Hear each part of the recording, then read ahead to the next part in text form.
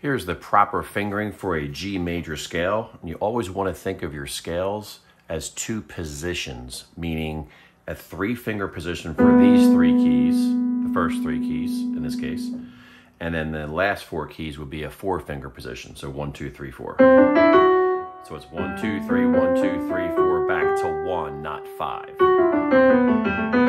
That way you can seamlessly two octaves or more without training the fifth finger to land on the root note when you're learning one octave. Same thing with the left hand. We have a three finger position here at the top of the scale, and then a four finger position here. Three, and then four. So one, four, three, two, one, three, two, one.